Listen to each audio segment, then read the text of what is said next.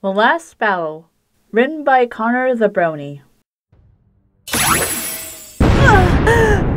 Stand, you fool! Celestia rose, but quickly collapsed again. She had exhausted all of her strength trying, but failing to defend her castle. Nightmare Moon had now all but won. Don't you absolutely envy my new powers, sister? Why would I envy the ability to kill? The living nightmare grinned as she taunted Celestia. Oh, sister, you are still so blind. You can only get what you want done through force. Just look around. In little over a day, I've usurped you from your throne and conquered your pitiful kingdom. Is that not evidence enough? You do not know the first thing about ruling a country in harmony. Oh, but of course I do. I watched you do it for centuries. You keep your population blind to the horrors of the world. Now it's my time to rule, little sister. I'll show them all the things you kept from them. Each word she said dripped with malice. Celestia looked up at her former sister from her position on the floor. So, that is what this is all about? You're doing this just to show the innocents the world as you want it to be? Not just that, but also to punish them. They've ignored me and my knife for far too long. Now I will show them the error of their ways. I will show you the error of your ways. What did they ever do to deserve your hate? What did I do?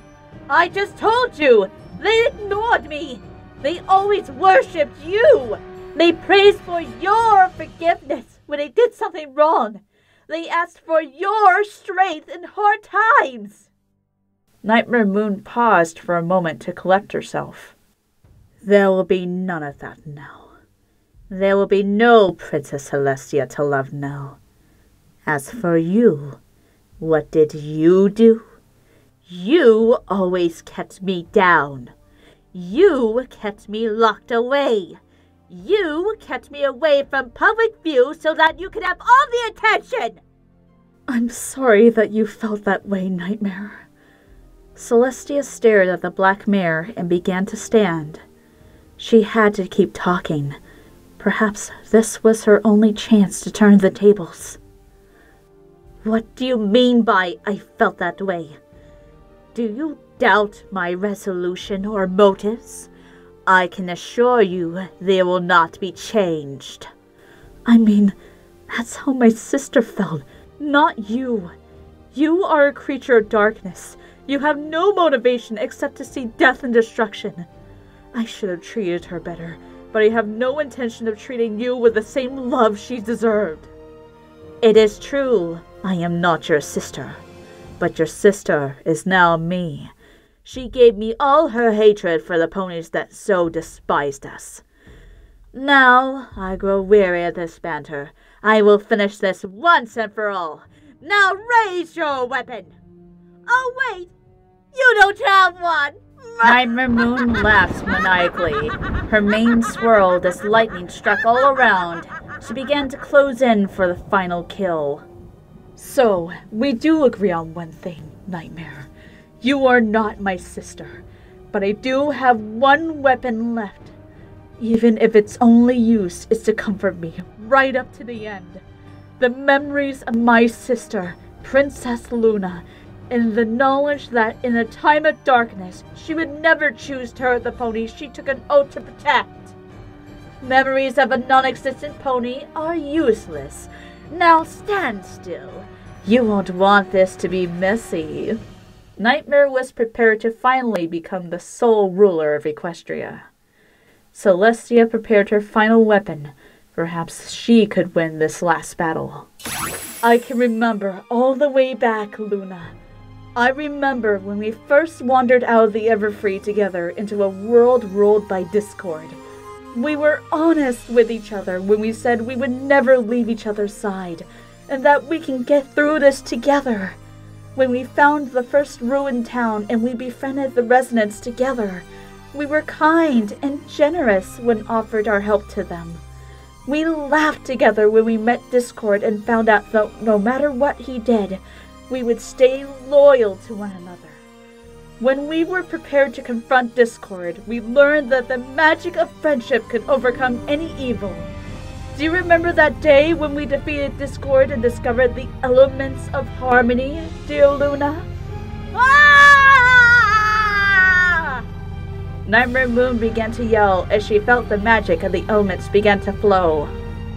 Those are but an illusion of past long gone! There are no element of harmony without Luna! Luna is no more! You are wrong, Nightmare.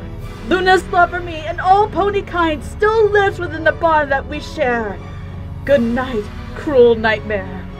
Celestia began to float upwards. Nightmare Moon stood frozen in terror and began to shout, No! No!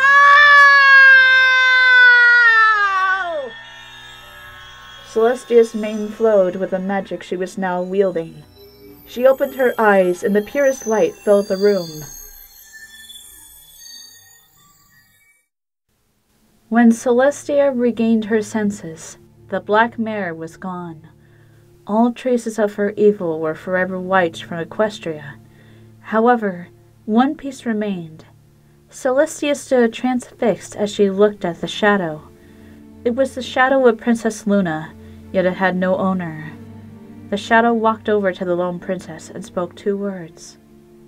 Remember me. I will. Princess Celestia walked through the abandoned streets of Equestria's once great capital, Everfree City. She could not bring herself to look at the bodies of the ponies she had failed to protect. At last, she had reached the edge of the city. She knew that she would never return to this place, Yet she decided to leave a mark that would forever remind her of all the events that had transpired on this day. Using her magic, she willed the small, Everfree forest to grow over the remains of the city. A tree would grow for each life so cruelly taken by Nightmare Moon. By the light of the rising sun, Celestia saw the last remnants of the heart of her kingdom swallowed by a forest ten thousand trees strong.